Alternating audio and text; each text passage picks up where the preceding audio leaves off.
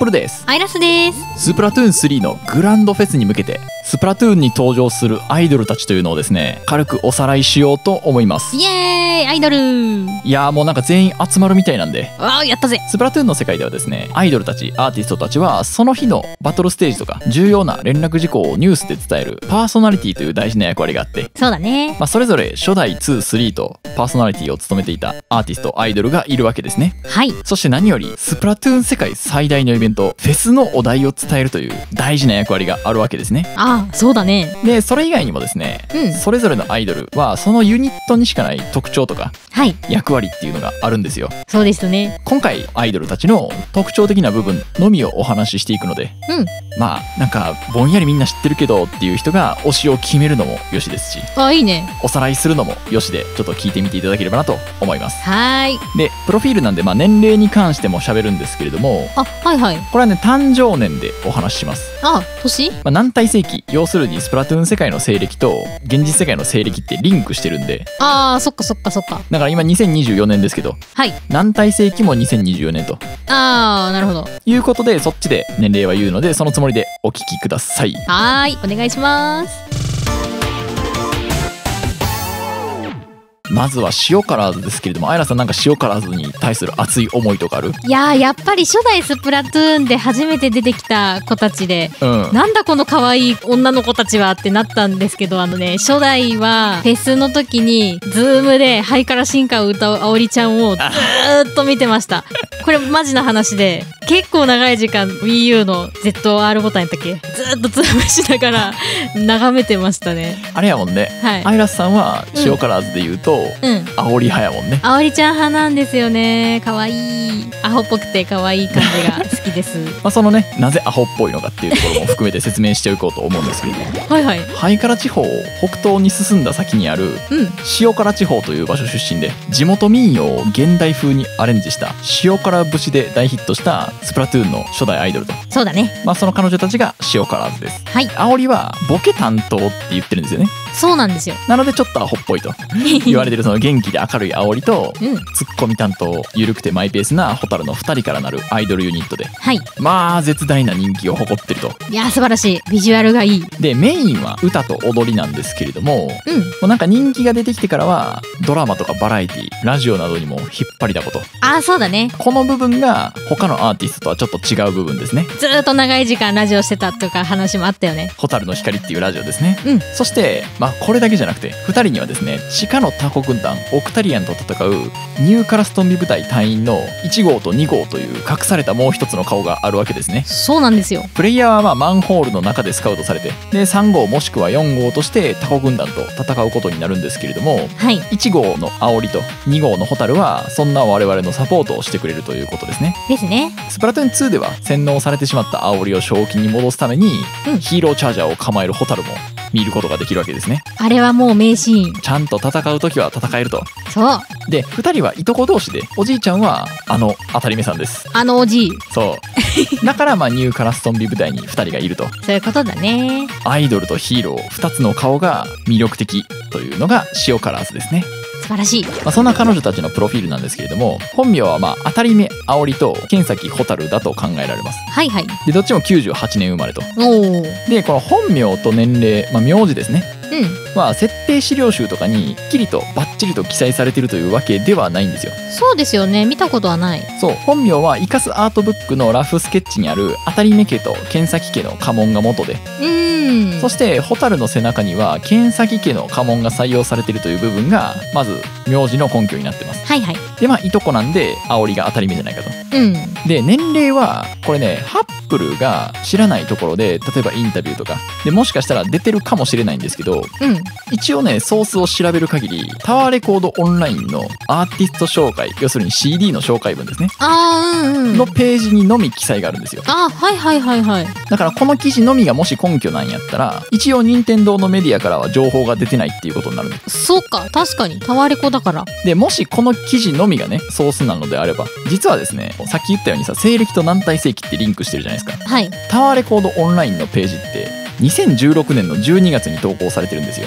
16年はい。でその段階で17歳なんであ。もしかしたら通説より1歳若い可能性もあると。ああ若いのかな？そう。2015年段階で17歳やったら98年生まれなんですけど。うんうん2016年時点で17歳やったら99年生まれになるんですよ。そうだね。まあまあまあこの辺りはもう女性の年齢を探るのは 野暮なのかもしれないんですけれども、ああそうかもな。はい、ただまあ2人ともスプラトゥーン3のグランドフェスの時には26歳になります。あそうだね。そんな塩辛津の小話なんですけれども。はい。幼い頃からずっと一緒にいたということでそうだね。ハイカラシティに出てきてから2人でルームシェアをしてるようですね。仲良し。はい、でスプラトゥーン3のグランドフェスの段階今の段階でルームシェアをしてるかっていうのはちょっと不明なんですけれどもうん。今でも2人はとても仲良しと。素晴らしい。で他のアーティストとちょっと違う点が塩カラーズとしての活動として仲いいとかじゃなくてうん。蛍がね煽りのドラマをこそっと布教しようとしたりとか。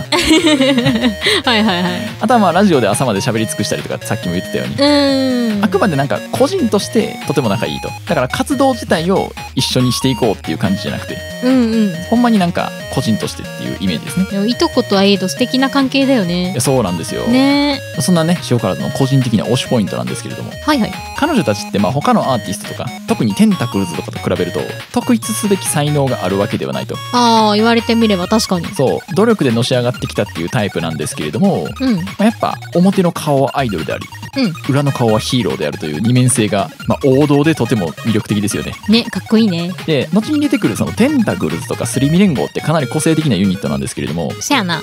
塩辛ズは逆でかなり王道なんで。あのそれはねめっちゃ思った。そう。だから逆に目立ってるんですよね。うんかもね。うん。やっぱねアイラさんも言ってたようにスプラトゥーンに初めて登場したアイドルということだけあってはい。もう塩辛ずの圧倒的王道感っていうのは多分スプラトゥーンシリーズが続く限りずっと続くんやろうなと。そうだろうね。その、うん。王道感って思った理由としてもさ初代ってキャラクターデザインがすごいシンプルだったからさイカちゃん。イカガールイカボーイ。そうね。選択肢もそんななかったしね。うん。だからよりね魅力を感じたんだろうなとは思った。言われてみればまあゲソ型とかもねガールとボーイで1個ずつやったもんね。あそうそうそうなんよ。だからよりね目立ってた。うんなのかなとも思いました。ということで、まあそんな This is スプラトゥーンとも言える塩辛ずを皆さんぜひ押してってください。ぜひぜひ続いてはテンタクルズなんですけれどもあやらさんなんかテンタクルズに対する熱い思いありますか？この子たちも2で初めて見て衝撃受けましたね。かなり変えてきたんだなっていう。何よりタコやからね。いやそうなんですよ。タコが当時見た時はさあうんの敵対しているタコがアイドルにみたいな。うん。そんな衝撃を受けたのを未だに覚えてますしうん、姫ちゃんのデコが可愛いです まあ、ハイカラ地方の大富豪でうん。わがままなお姫様というようなキャラクターの姫と元オクタリアンつまり敵対勢力で過去の世界から脱出してきたメカオタク自称はメカマニアらしいんですけどああ自称。そうの飯田はいというまあ正反対の特徴を持つ2人の音楽ユニットがテンタクルズになりますね。そうだね。まず姫はすごい特殊な生態をしていてうん。普通に歌を歌うと機材などを破壊してしまうという声をしています。面白いね。そう、まあ、そのせいでなかなか売れずに、まあ、なんかライブハウス嵐の白い怪物とも言われてたと。やばい意味を持っとんな。そうなんですよ。一方イイダはですねもともとリアンのエリートだったと。いうことで、そうだね。まあ、タコドーザーの設計とか、うん。戦略タコ壺兵器の改造などをしていたとはい。いうそうですね。はい。でまあヒメが荒れに荒れてた頃にタコ世界から脱出したてでまだ片言だったイイダとナンタイ山で出会います。でイイダは特殊なバックトラックでヒメの声が機材を破壊してしまわないようにしてうん。そしてテンタクルズはスタートしました。はい。ただヒメの声がね衰えたわけではないと。うん。むしろ鍛わってきとると。姫は結構大事な場面でもう反復横跳びでテンションを高めて。やってるんですよ。そう。そしてその声で先輩キャノンを放つという時があります。深海メトロの時もそうやけど任天堂ライブでもね一回やってたんだよね。うん。反復横跳び。テンション高めてんだなって。あとはあれやね。あのハイカラウォーカーの写真とかであそう。ブレてる姫が見れるから、超可愛いあれ。はい。まあ、このメガホン自体はバトルで使われるとたまったものではない威力なんですけれども、まあそうですわね。あ、そんな彼女たちのプロフィールを見ていこうと思うんですけれども。はい。まず姫はほおずき姫うん。96年生まれです。はい。そして飯田が飯田マリネでうん。99年生まれです。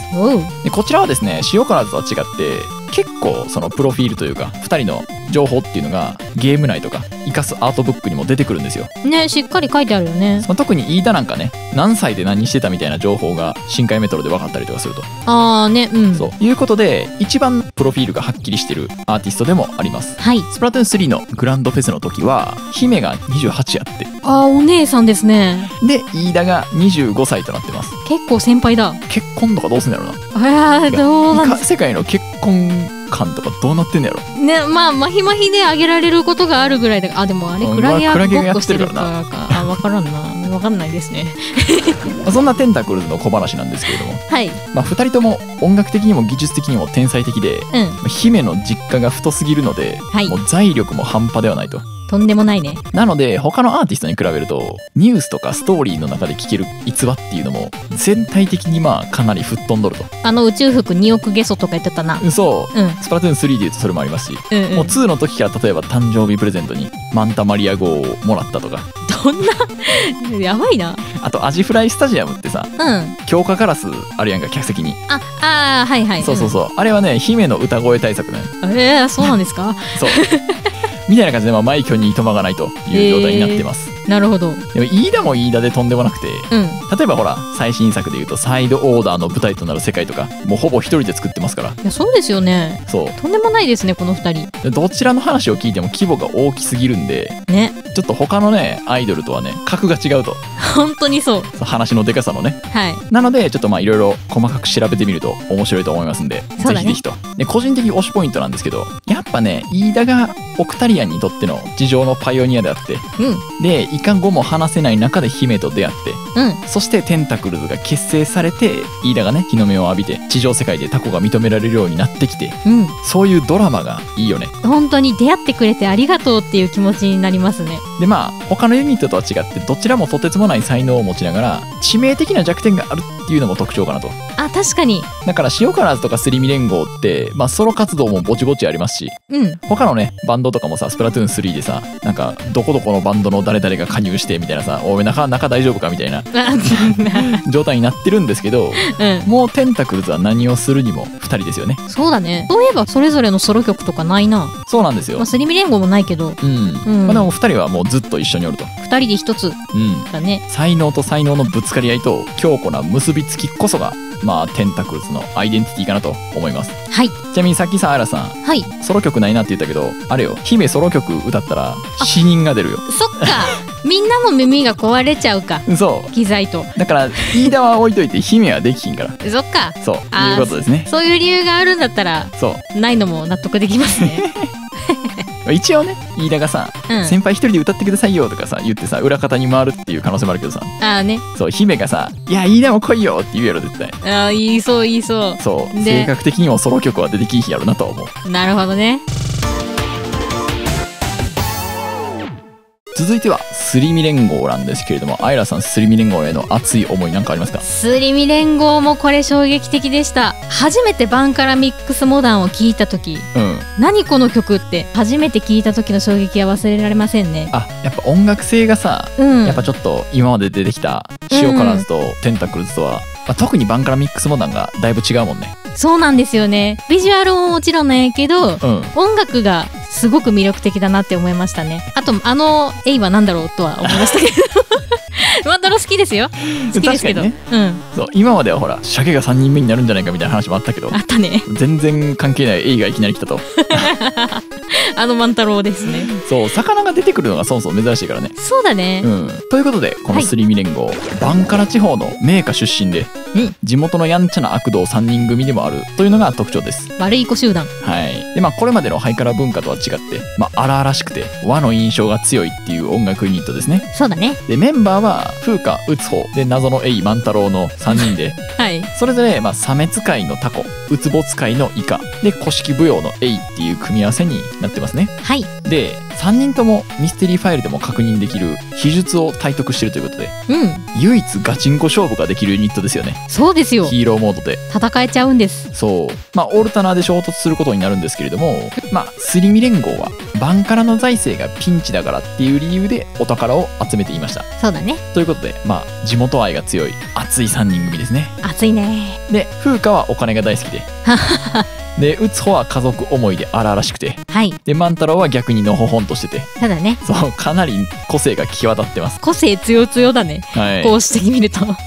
あそんなスミリンゴのプロフィールを見ていこうと思うんですけれども。はい。まず宝次郎風花年齢は不明です。うん。でオナが打つ方これも年齢不明です。はい。でマンダ太郎喜左衛門宗清お前そんな名前やったんかっていう。そう。名字の前の万とうん。名前の太郎喜左衛門宗清の太郎を取って万太郎ですね。略して万太郎。はい でもこれも年齢不明ですり身連合年齢不明なんですけれどもはい。学生時代の逸話もいっぱい聞けますんで、まあ全員同じ学年であると考えられます。そうやね。個人的には塩辛のことを姉子っていうようになったりとかうん。あと飯田が打つ方のことを可愛いって言ったりしてるんでまあ飯田と同じ年齢か飯田の1個下かとかうんうんうん。そんぐらいかなと、なのかな？まあやったらグランドフェスの時24歳なんですけれども。はいはい。一応ねバンカラジオのパーソナリティに就任したのもスプラトゥーン3の発売日南体世紀2022年なんで。っうんうん。て考えるとまあ少なくとも塩辛ずより上ってことはないかなっていう感じですねうんそうだろうね。そんなスリミ連合の小話なんですけれどもはい。曲を作っているのは万太郎で、うん。中学時代の先輩の勝ち込みの応援歌で疾風怒と勝ちコンドルを3人で作ったっていうのが最初だそうなんですよね。そうだよね。でまあ万太郎と打つ方は別にどっちでもよかったそうなんですけれども風花がね、うん。ほら3万ゲソいただきましょうかっていうことで。はい。きっちり3万ゲソで引き受けたそうです。あらちゃっかり。でその後その疾風怒と勝ちコンドルを聞いたボーリング屋さんの店長に依頼されてうん。でまあ CM ソングとして天命反転ローリンストーンを作ったそうなんですよね。ボーリング屋さんからそんなローリンストーン生まれるんかみたいな。いやそうなんですよ。話ですよ。あんなかっこいい曲が。そう。まあ万太郎が難しいこと語ってたんでね。はい。興味ある人はぜひサウンドトラック買っていただいて。あそうですね。これサントラに載ってたことなんですよ。でこちらも万太郎と打つ方は別にどっちでもよかったらしいんですけれどもはい。風雅がしっかりと30万ゲソでお金好きやな。そう引き受けたそうなんですよね。ちょっとさでもさ「はい。天命反転ローリンストーン」がさ、はい。CM ソングってなんかあ謎じゃない？そうだよね。ということでねはい。イメージ映像をちょっと作ってみました。マジで？あ地球ああボーリングあえあボーリング。その手で全てを壊せる。バンカラボールこんな雰囲気になる、うん CM じゃないですかこれ。広告じゃないですか。壮大すぎん？壮大ですよ。そう。ドラマありそうな感じのいやそうなんですよ。いいですなんねかストライク取ったら世界変わりそうな感じの本当ですよ。あれですけれども。まあみたいな感じではい。スリミ連合がアーティストとして成長していって、うん。そして今やハイカラ地方を代表するアーティストたちとも交流があるっていうのはまあ夢がありますよね。ねいいですね。そう。まあにしてもまあ言うたらあれですよ。塩辛とかがしっかり上京してきてうん。活動してるっていう中でうん。もう地元を密着型でやってたら世界に羽ばたこうとしてるみたいなうん。そういう夢がありますね。いいね。にしても風花もさはい。2万とか4万じゃなくてさはい。しっかりちゃんと3で割り切れる金額で引き受けてるっていうあたりにあー。そうちょっと仲間思いな一面が出てますよね。あ確かに確かに。そう。そう思うとちょっと可愛らしいね。いやそうなんですよ。あらで個人的推しポイントとしてはーはい。何より圧倒的地元愛ですよね。いやーそうだよね。バンカラ大好き。まあ風花はお金にがめつくて打つ方は少々物騒で。うん。万太郎はまあハイカラに魂を売っているようにも見えるんですけれども魂ただまあやっぱ3人ともバンカラを思ってうんそれぞれのアプローチを大切にしてるっていうことがよくわかる3人ですよねそうですねそう、まあ、バンカラって多分さスリミ連合のニュアンス的にさうん多分そのハイカラとかよりもうん。まあ町の規模が小さいっていうか GDP が低いって言ったらその 感じだと思うんですけれども、うん。まあ地元を愛するがゆえにバンカラ街を発展させるためにじゃあ風花は力要するにお金ですよね。うん。が必要なんじゃないかって思っとると。はいはいはい。で打つ方はバンカラとしてのアイデンティティを失うべきではないと。うんうんうん。多分大人になったら観光産業に一番力入れたがるのは打つ方やと思う。あーしそうだな。そう。で万太郎は、まあ、グローバル化ですよね。異文化との交流を重視してると、そうだね。まあ、それぞれアプローチが違うんですけれどもうん。でもバンカラのことを思ってるっていうのがうんうん。なんかこう結構町おこしの議論見てるようですよね。あー確かに。そうこうやって要素整理してみると。そうかもしれんな。バンカラを発展させるためにはどうすればいいんじゃみたいな。うーん。そう。やっぱお金稼ぐべきなんちゃいますかね。いやいやいやここは一つどでかいモニュメントでも作って観光客をだなみたいなやってそう。いやいや新幹線通して人呼ぼうよみたいな。やってそう。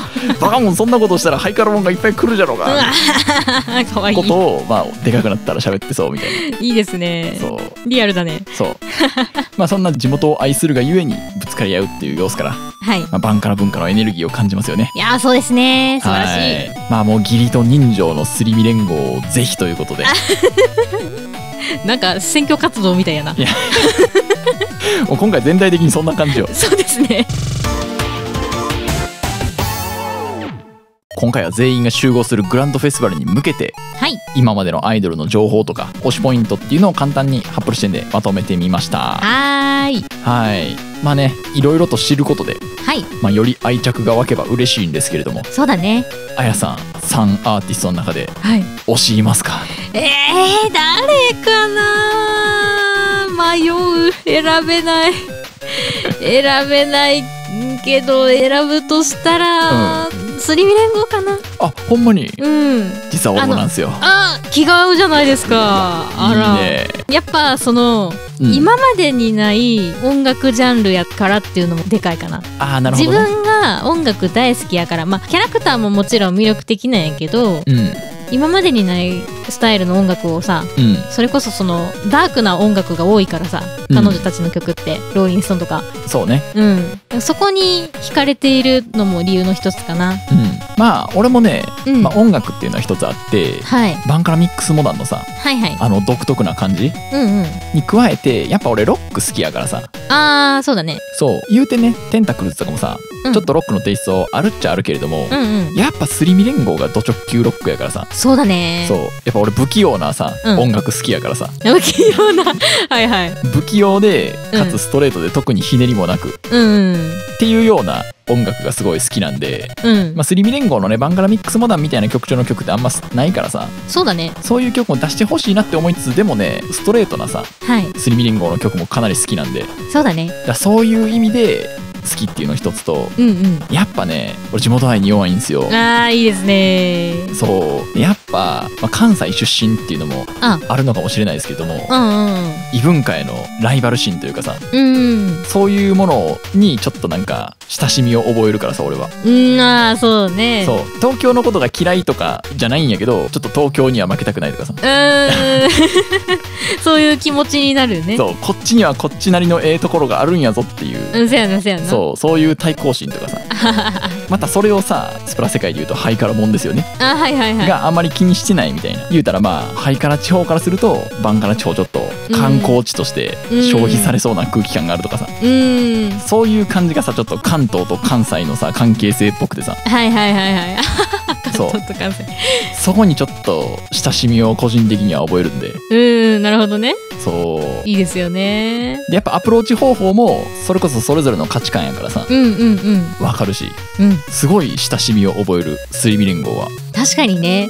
うん。うん。キャラクターデザインとかで言うとさはい。そう好み的にはどっちかっていうとあの塩辛とかテンタクルズの方がああそうね。そこは私も一緒かもしれん。好み的にはあるんですけど、うん。もうキャラクターのその中身というかキャラクター性。そうキャラクター性的にうん。個人的にはスリミ連合が好きですね。いやいいですね。でもやっぱテンタクルズのねドラマチックな関係性もね。そうあのオクトエキスパンションやった時も、うん。テンタクルズとというかヒメちゃんの株爆上がり。いや爆上がりやし。やばいし。ヒメちゃん株上がることしかないからさ。あのオクトエキスパンションの「何したやつや何して寝ろ」っていうあの曲めっちゃ好きなんですよ。そう。ですしでもやっぱりなんか塩カラーズがいなきゃスプラトゥーンじゃないよね感もあるし。いやそうなんですよね。やっぱむずいわ。国民的アイドルっていう感じがしますいしやそうなんですよ。塩辛節があったからここまで来てるんだといういやそうのもあるし